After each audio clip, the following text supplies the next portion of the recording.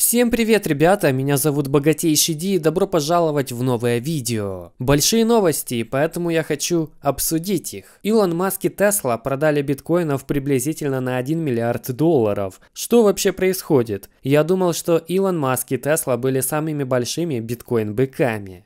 Прежде всего, давай обсудим, что произошло с биткоином после этой новости. Биткоин упал почти на 2000 долларов после этой новости, но есть кое-что позитивное. Он до сих пор удерживается выше важного уровня в 22 тысячи долларов, который был потолком этого коридора с 13 июня 2022 года. То есть длительное время он выступал сопротивлением, а сейчас, похоже, становится уровнем поддержки. Это хороший знак пока что. Из коридора выпрыгнули и сейчас пошли на ретест этого уровня. Если он окажется успешен и верхняя граница окажется новой поддержкой, то нас ожидает продолжение роста. Если же нет, то мы вернемся в этот коридор и снова будем торговаться в нем. И этот рост окажется всего лишь ложным пробитием. Возвращаемся к Тесле. Она опубликовала отчетность о втором квартале этого года. Это апрель, май и июнь. И он на самом деле неплох. Доход Теслы вырос на 42%, что, конечно же, очень-очень хорошо, учитывая, что происходит с экономикой. Но есть кое-что, что портит картину. Маржа автомобиля упала с 32,9% до 27,9%, то есть на 5%.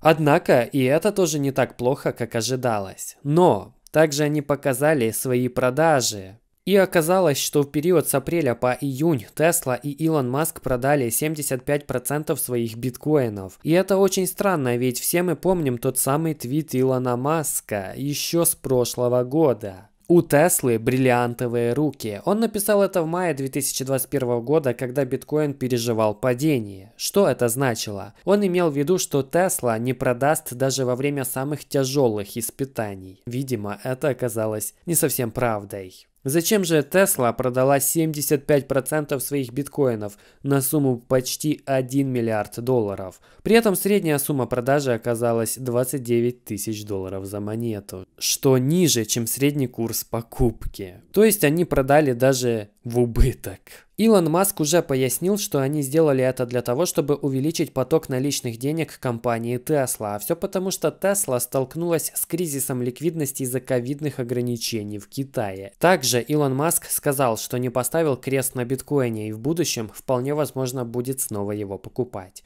В общем, Илон пытается всех успокоить, что он не разочаровался в биткоине, что это просто вынужденная мера и компании нужны наличные деньги на случай, если экономика еще больше ухудшится. Короче, он готовится к еще большему краху и на всякий случай хочет иметь деньги на то, чтобы его выкупить. Кроме этого, у них есть проблемы с денежными потоками, которые они решили за счет биткоина.